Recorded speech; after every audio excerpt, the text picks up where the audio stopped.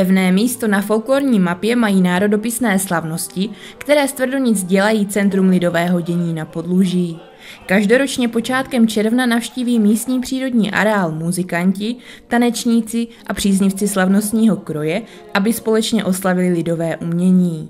Folklorní festival má letos za sebou 66. ročník a my vám ho v následujících minutách zrekapitulujeme. Podluží písně a tance má své významné postavení v rámci osmi desítek festivalů v České republice taky je třeba zdůraznit, že ta tradice je 66 letá vyznačuje se regionálním aspektem a dobrou organizaci a vysokou programovou úrovni. A za to je třeba poděkovat obci Tvidonice, všem spolupořadatelům, pořadatelům, mediálním partnerům a samozřejmě jednotlivým organizátorům. Národopisné slavnosti trvají tři dny, od pátku do neděle a každý den má svůj typický program.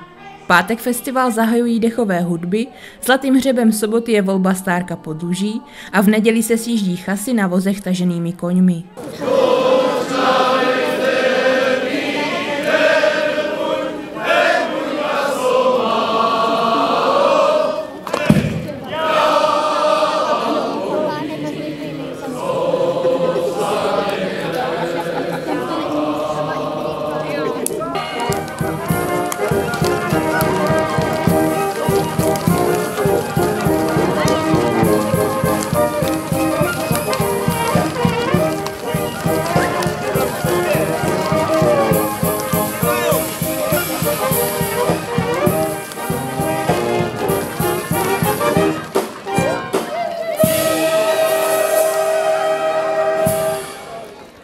Slavnostní zahájení se odehrálo v pátek 7. června v 8 hodin.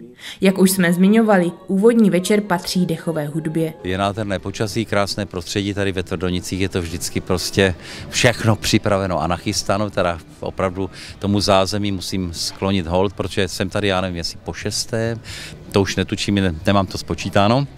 A musím říct, že všechno, všechno funguje tak, jak má. Jako první vystoupili, vystoupila mladá muzika Šardice, pod vedením Romana Kohůtka, to je šikovný chlapec, který vede už mnoho let ten orchestr. Hrála Májovanka z Holíča, eh, Jižani z Českých Budějovic, pak přijde na řadu Podlužanka, domácí, kde se bude křtít taky Serečko, no a závěr bude patřit Dubňance. Vy jste tady na pódiu říkal, že kapely mají za úkol zahrát něco podlužáckého, to bývá pravidlem každý rok? No, nejsem si jistý, nevzpomínám si, jestli to bylo pravidlem, ale sám osobně to vždycky považuji za za takové, takové krásné poděkování těm lidem, kteří tady působí a něco zanechali pro nás a teď prostě se jim nevzdá ani hold úplně tím nejjednodušším způsobem, tím, co ty co ti lidé umí. Umí zahrát, umí zaspívat, tak vzdejme hold, udělejme radost i těm, kteří prostě jsou třeba jejich eh, potomci, následovníci, vůbec netušíme, jestli tady sedí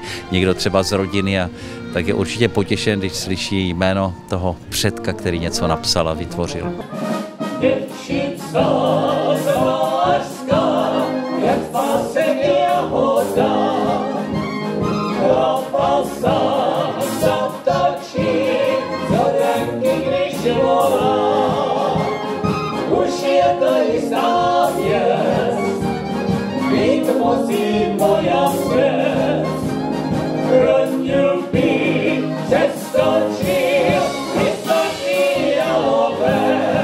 Aby se podluží mohlo oddat písni a tanci, je potřeba vše důkladně připravit. Jednak je to teda příprava programová, která vlastně začíná běžet někdy tím říjnem, listopadem a potom samozřejmě je to ta technická, to zázemí kolem dokola přípravy amfiteátru, takže to začíná, nebo v podstatě je celoročně, ale to finišování je v podstatě v tom dubnu a část toho května. Já jsem velmi rád, že eh, funguje ta programová rada a přípravný výbor, takže je to založené na dobrovolnicích, toho si samozřejmě velmi vážíme, že eh, v té programové radě je to postavené na lidech, kteří se věnují, dá se říct, celoživotně folkloru, mají zkušenosti s tímto, někteří se podílí na strážnických slavnostech, takže eh, můžou přinést některé nové podněty, aby eh, jsme jaksi neustrnuli, jak se říká, a nabídli co nejvíce prostoru i novým podnětům pro ty slavnosti. V sobotu na návštěvníky čekal opět pestrý program. Slavnostní průvod dětských souborů obcí a pak následovala jejich přehlídka v amfiteátru.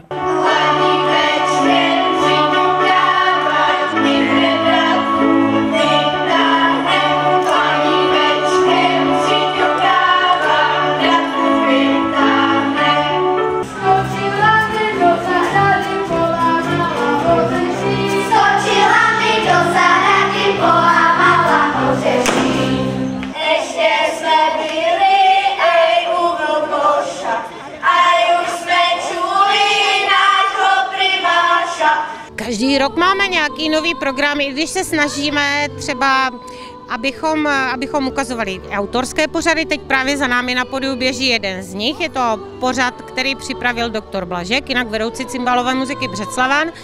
A je to pořad věnovaný třeba z tému výročí narození Boženy Šebetovské nebo 90. výročí narození doktora Kobzíka.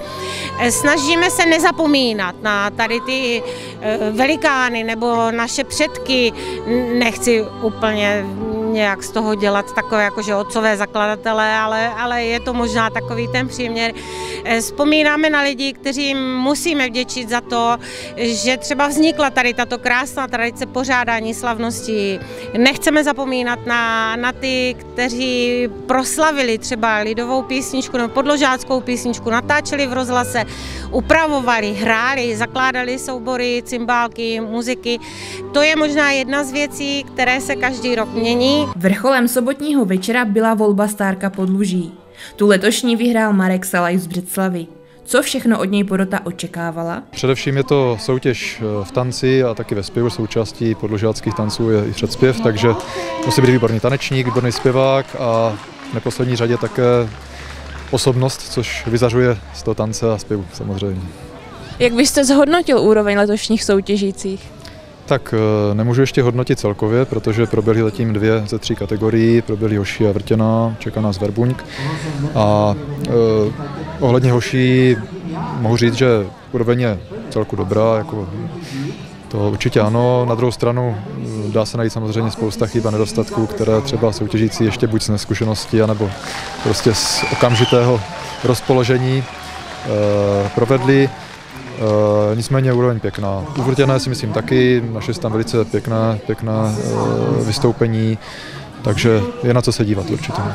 A jak vy vnímáte osobně ten titul? Jak moc je to zásadní být stárkem podluží? Já to vnímám velice dobře v tom smyslu, že eh, dává tomu člověku jednak teda jakýsi oznak toho, co dokázal, co umí, co, co předvedl, ale zároveň je to jakýsi zavazující titul, protože ten stárek podluží by potom měl, řekněme, jít příkladem nejenom tanečně samozřejmě a, a v těchto kvalitách, ale jako osobnost. A taky jednou z jeho takových nepsaných povinností je to, že pak eh, by měl třeba během toho dalšího roku, kdy je Starkem podloží, obět co nejvíc přehodů, které tady jsou na podloží v vesnicích a podobně.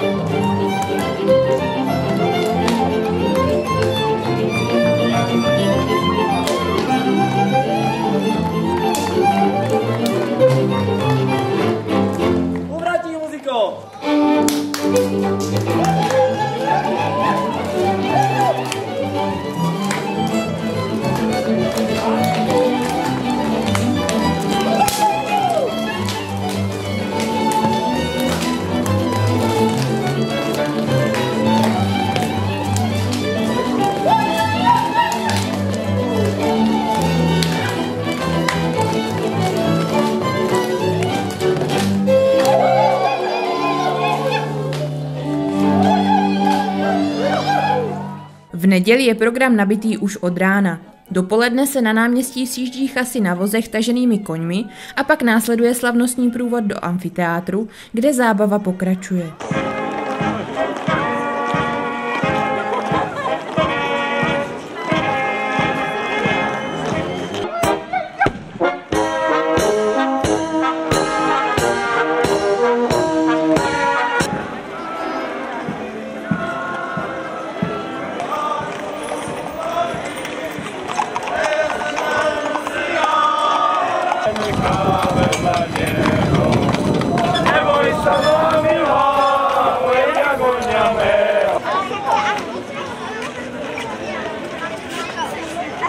Samozřejmě se každý rok snažíme pozvat nějakého hosta z řad nějakých cizích souborů, třeba slovenský soubor Puls, na který se velice těšíme, protože ty slovenské soubory máme rádi. Takže snažíme se to vždycky oživit.